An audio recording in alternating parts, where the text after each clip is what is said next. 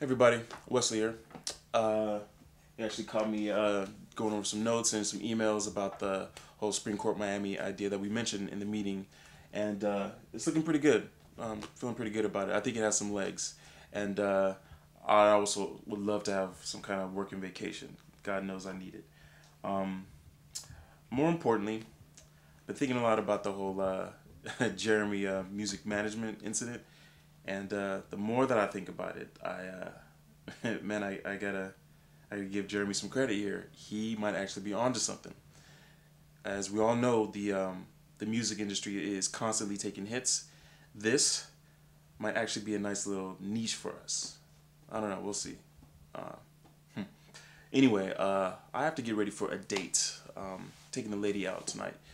Trying to get back on her good side because she's not too happy with me always working late. So uh, wish me luck. Um, hit me up on Facebook or send me a tweet. Uh, let me know what you think about Kurt and uh, Spring Courts. The link is on the left. Y'all be good.